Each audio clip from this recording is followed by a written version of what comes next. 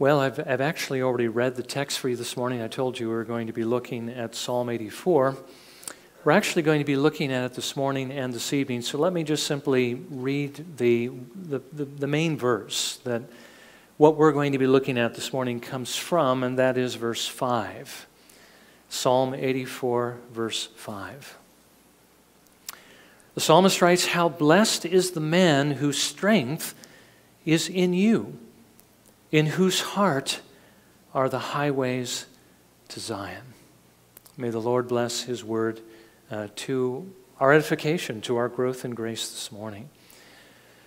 Now, I did want to say, because I do want to connect this with what we saw last week, and actually, you know, Everything in the Bible is connected. It's not difficult to find connections, but this one is a very strong connection. Now, last time we were reminded about sowing and reaping, that we reap what we sow, and we reap only what we sow.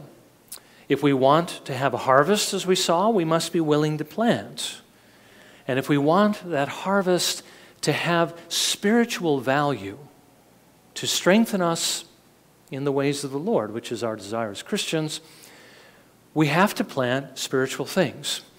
Whenever we sow to the flesh, and we saw that sowing to the flesh means doing things or saying things, or even thinking or desiring things that are contrary to God's will. Whenever we sow to the flesh, our desire for fleshly things, our desire for sin, grows stronger, which is why we need to avoid that.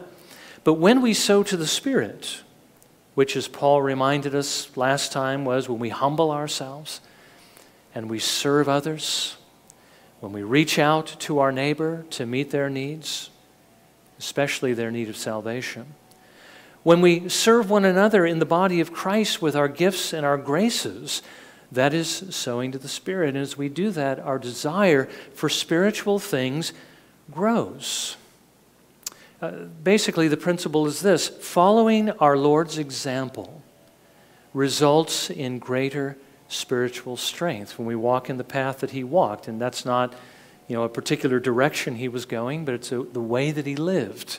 When we live like our Lord, humbling ourselves to serve others, we experience greater spiritual strength. Now, Paul ended by reminding us that we should not be deceived about this. The path to becoming spiritually stronger, the path to spiritual power, isn't the world, it, it isn't sin.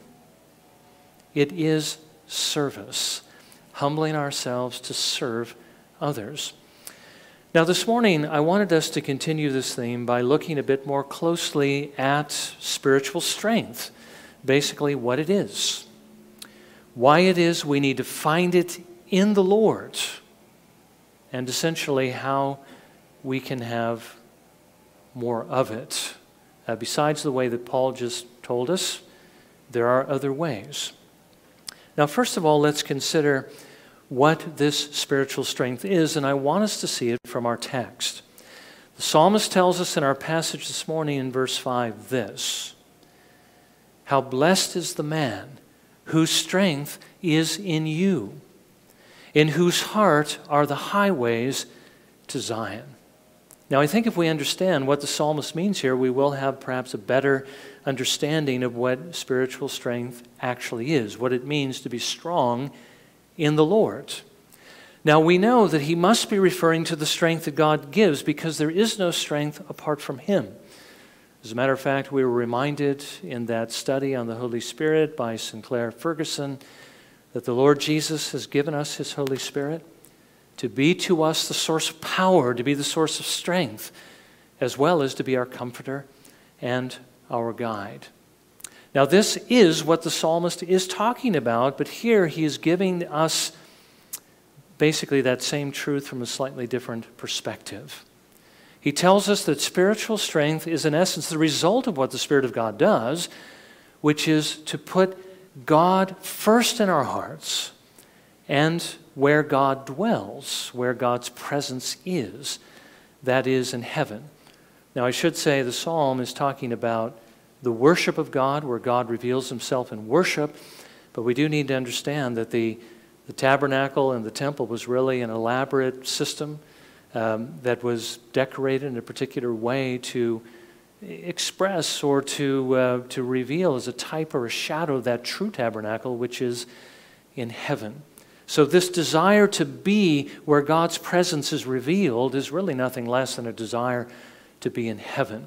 Well, let's explore what it is that the psalmist is, is saying here uh, for just a few moments. Now, one thing that we often see in Hebrew poetry, and by the way, the Psalms are poetry. Uh, they're you know, highly symbolic, lots of imagery that's included in here, lots of structure in here.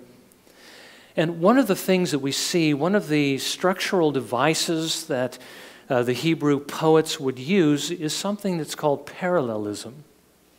Parallelism is really where you take uh, and you make two statements.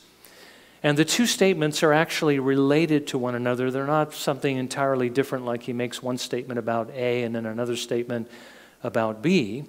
But rather, in the first statement, he lays something of the groundwork and then in the second statement, he builds on that, perhaps um, intensifying what he said in some way.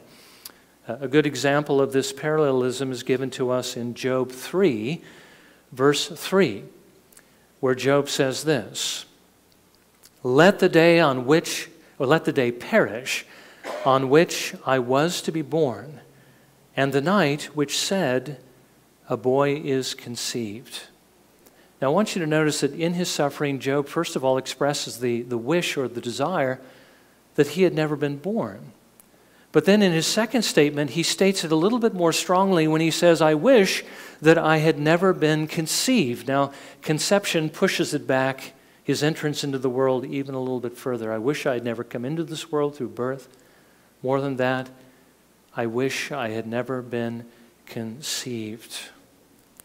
Hebrew parallelism often follows the pattern A, but what's more, B. I wish I had never been born. What's more, I wish I had never even been conceived. And I think that's what we see in our passage here. What, the, what is the psalmist talking about when he says, How blessed is the man whose strength is in you? What is the strength that he's referring to? Well, look at the parallel statement. How blessed is the man in whose heart are the highways to Zion. This strength that one has in the Lord is the love that ha- one has for Him and for His presence. A love that is so strong that it compels those who have it to take the paths that actually lead to where God is. And by the way, that isn't just one place, it's a variety of places heaven, worship, and of course, the service of the Lord, walking with Him in this world. Now, God's presence is what He means by His reference to Zion. Zion, remember, is one of the hills upon which Jerusalem was built. It's the name which was later used to, refer to Jerusalem itself, the city of God, the place where God was pleased to put his name, the place where he wanted his house built.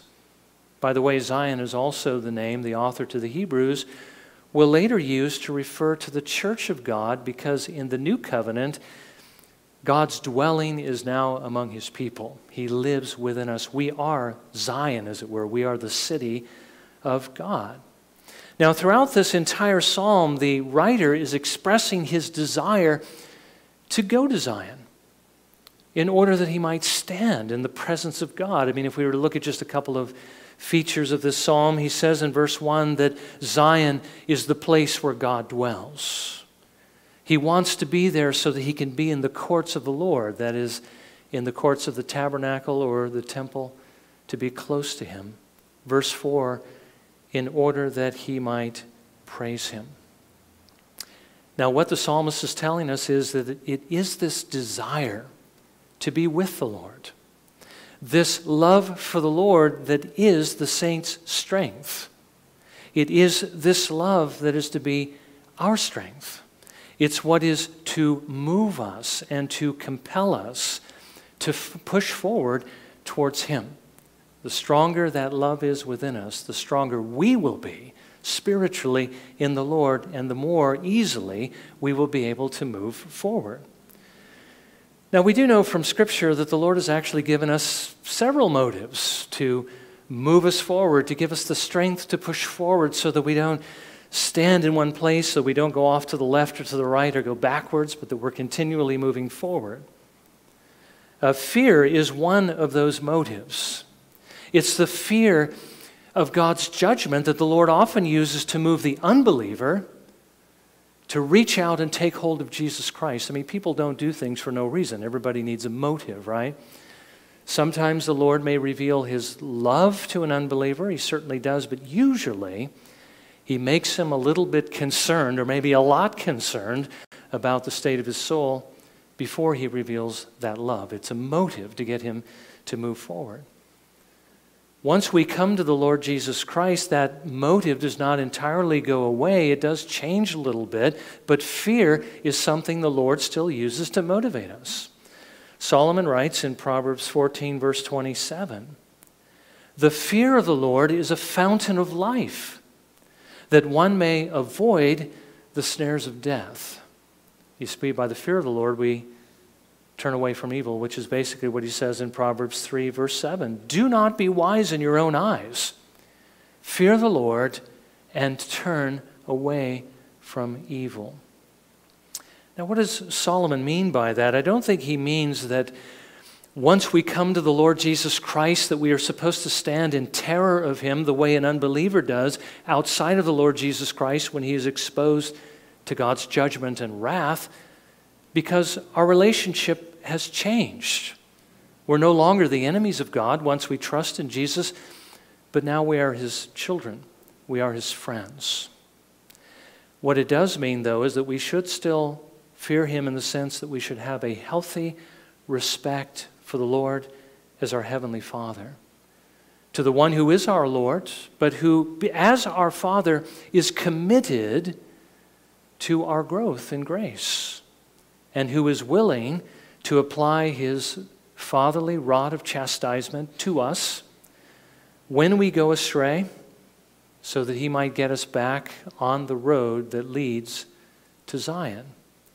You know, if, if we are totally oblivious to the Lord's discipline, if it's not in our thinking at all, Solomon tells us we should be thinking about it because this is one of the things that should move us forward.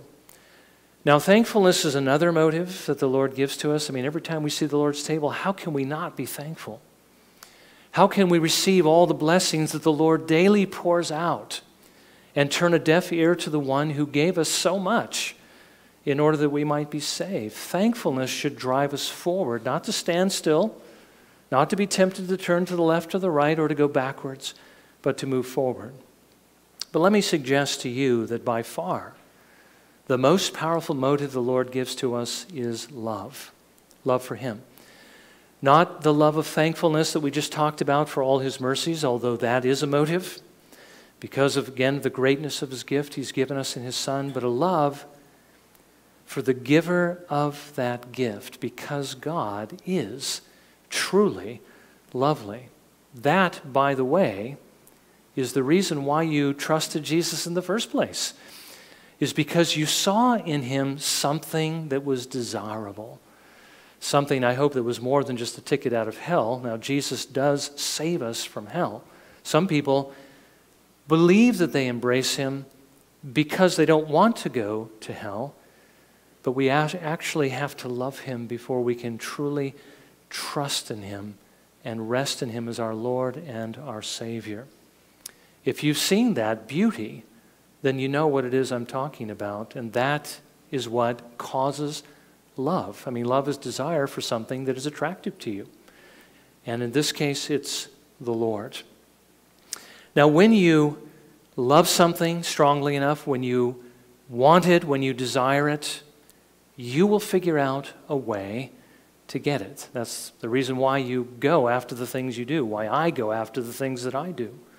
When you love somebody, you will try to find some way that you can be with them, and you will want to please them. Love gives you strength. Love focuses your purpose. It compels you to move forward towards the object of your love. Now let's apply that to God. If you love God, that will give you strength. It will give you the strength that you need to move forward towards Him. It will give you the strength to serve Him and to please Him. It will give you the strength to become more like Him. If you love Jesus, you will do whatever you have to do so that one day you can be with Him. I mean, remember, think about what Paul wrote of his own testimony in Philippians chapter 3. His love for the Lord Jesus kept driving him forward. I want to know him. I want to know everything about him. I want to experience that fellowship with him. It was because he loved him. It gave him that strength. That's the reason why Paul was able to do everything that he did, because he had such a strong love for the Lord. Now, we've heard this quote before from Thomas Watson a few times, but I thought it, it bore repeating here, where he writes in his book, Heaven Taken by Storm, he says, Love puts a man upon the full use of all means to enjoy the thing loved. He that loves the world, how active is he? He will break his peace and sleep for it. He that loves honor, what hazards will he run? He will swim to the throne in blood. Love heaven, and you cannot miss it. Love breaks through all opposition, it takes heaven by storm. By the way, notice he uses the word love. Love, we, we would say, well, love has varying degrees. But when the Puritans talk about love, and when certainly the Lord is talking about the kind of love we should have for Him, it needs to be the strongest kind of love because liking heaven isn't going to get you there. Liking something, liking someone, you're a little bit inclined towards it. You might make some efforts toward it, but not the kind of effort you actually need. This kind of love is a zeal, it's a passion, it's a desire. You must have it. And when you have that kind of love, that kind of desire, you will find a way. Love breaks through all, all opposition, but only this kind of strong love. Now, understanding that, we see secondly why it's so important that that love be directed toward God and not toward anything else. Because what we love the most is going to have this kind of power over us. It is going to draw us to it, well, like a piece of metal to a magnet, or at least like a piece of iron to a magnet. God has to have that kind of control in our lives. It shouldn't surprise us, understanding this, then, that when Jesus was asked, What is the greatest commandment in the law? that he responded in this way in Mark 12, 29 through 30, which we read earlier in our meditation. He says, The foremost is, Hear, O Israel, the Lord our God is one Lord, and you shall love the Lord your God with all your heart, and with all your soul, and with all your mind and with all your strength. Love him most of all. Or that Jesus also once said regarding himself remember that Jesus is God in human flesh. You love God this way, that's the greatest commandment. He says you should also love me this way. Matthew 10, verses 37 through 39. He who loves father or mother more than me is not worthy of me. And he who loves son or daughter more than me is not worthy of me. And he who does not take his cross and follow after me is not worthy of me. He who has found his life will lose it, and he who has lost his life for my sake will find it. Jesus says we must love him more than father, mother, more than wife, husband, more than children, more than our own lives. Shouldn't surprise us then that Jesus also said this that our love for him should be so strong that what we have for any other should seem like hatred by comparison. Luke 14, verse 29, Jesus says, If anyone comes to me and does not hate his own father and mother and wife and children and brothers and sisters, yes, and even his own life, he cannot be my disciple. Now, you know, Jesus doesn't say here that we should hate anyone. He tells us we should love our neighbors ourselves. Especially not that we should love those that we are called upon to love the most, that we should not hate them, but that our love for Him must be so much greater than our love for them that by comparison it seems like hatred. I believe the only way we can actually do this is to direct all our love towards the Lord, towards the Father, Son, Holy Spirit, towards the Lord Jesus Christ. And then, after we've done that, let it flow out to others as we seek lovingly to serve Jesus.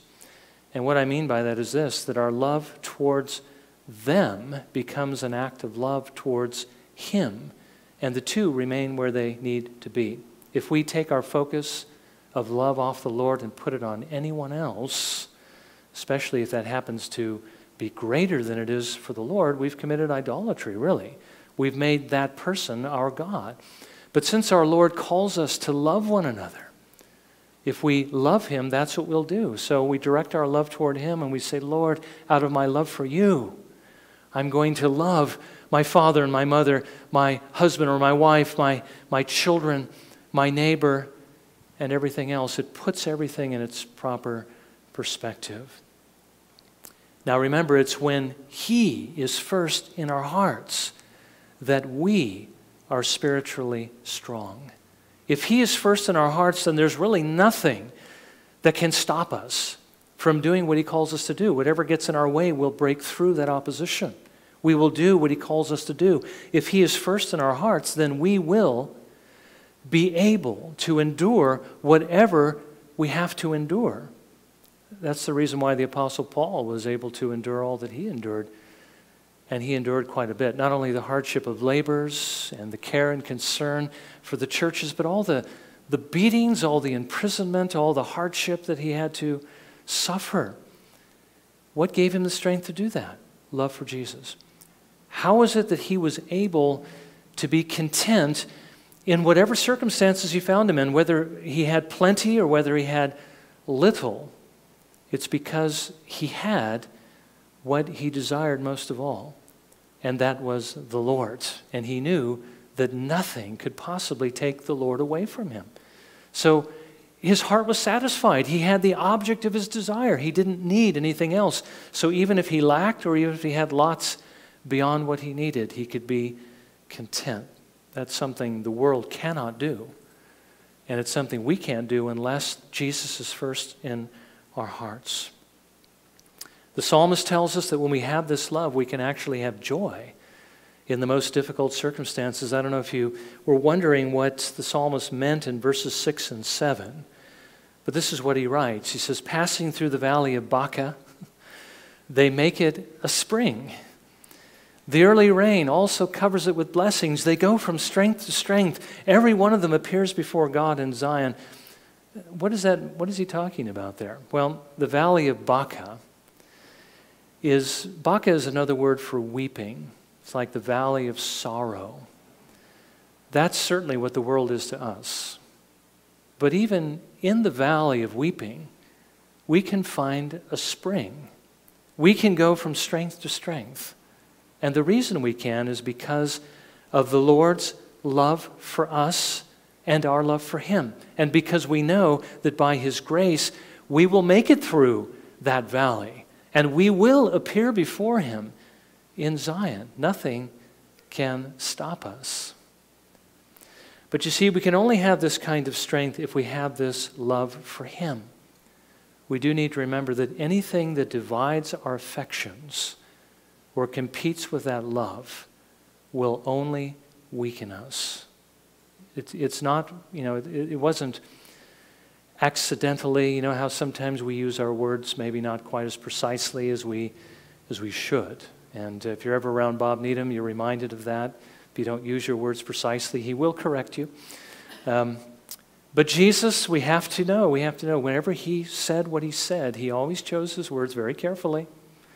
And he meant exactly what he said when he said we should love the Lord our God with all our heart, all our mind, all our soul, all our strength. He was saying that because if it's only with part of it, if we're divided, that will weaken us and we will not be able to do what the Lord calls us to do. It has to be everything.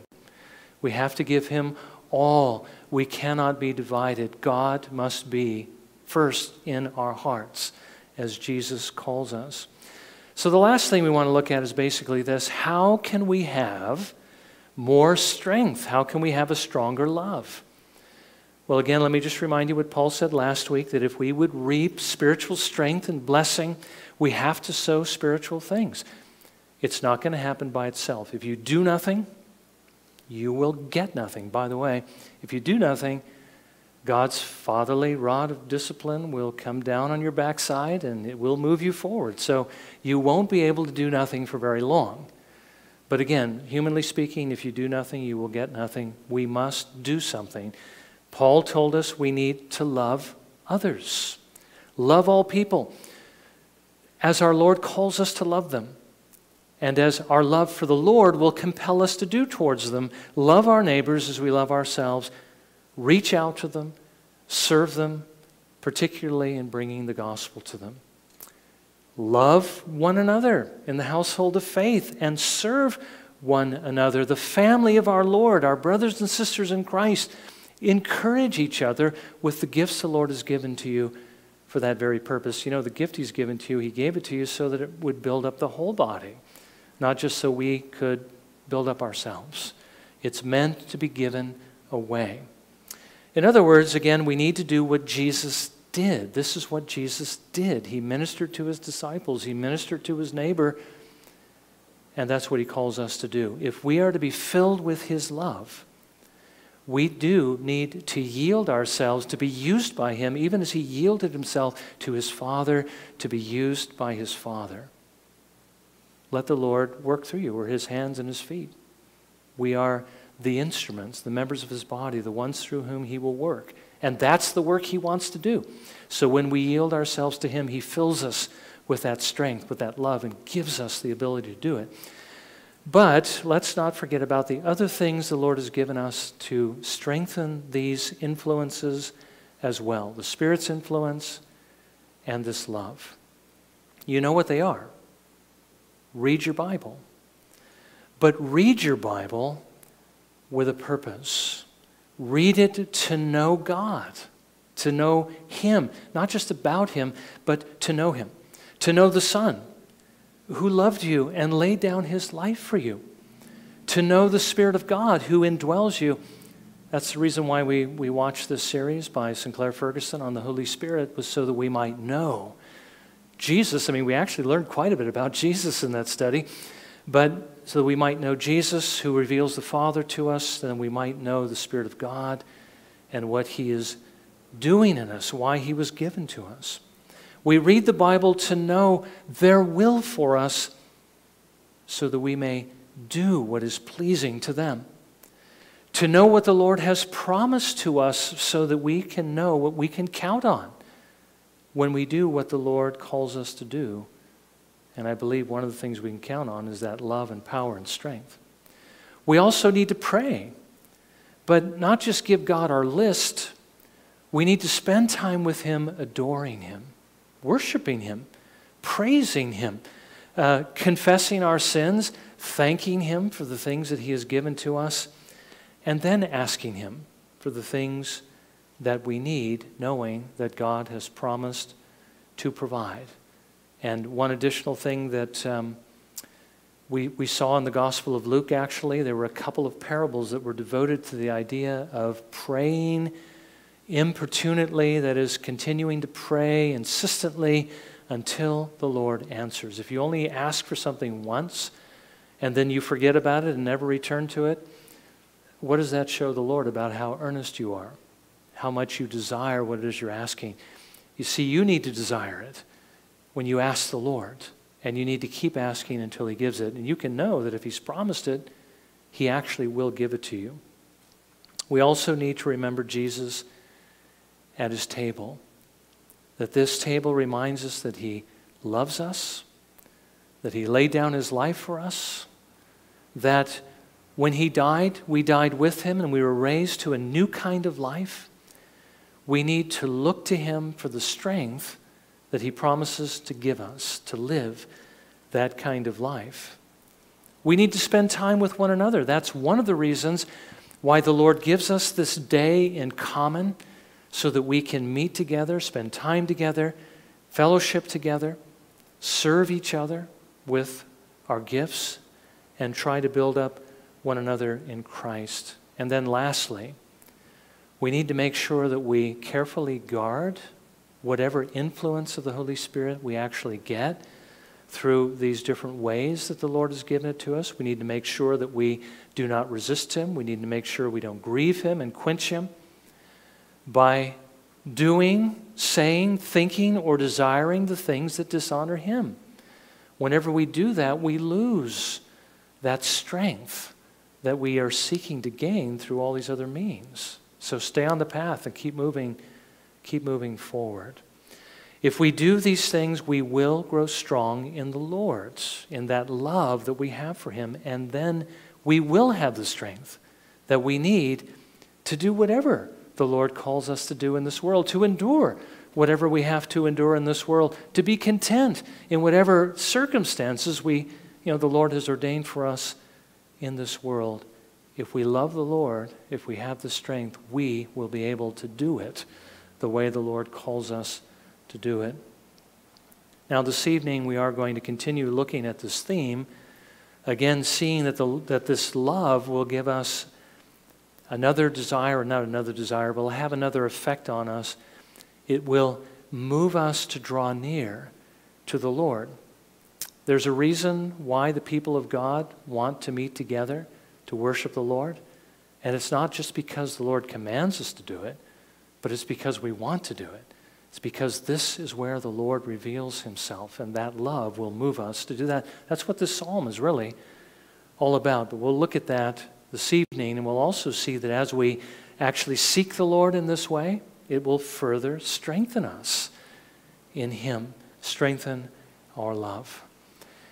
Well, let's, let's bow for a moment of prayer and let's, um, let's ask the Lord to help us to seek Him and to um, seek to be strong in Him, to love Him more. Uh, and let's also ask the Lord to prepare us to come to the table Again, remembering that this too is a means by which we can become stronger in the Lord. It is a spiritual meal for our souls. Let's spend a few moments.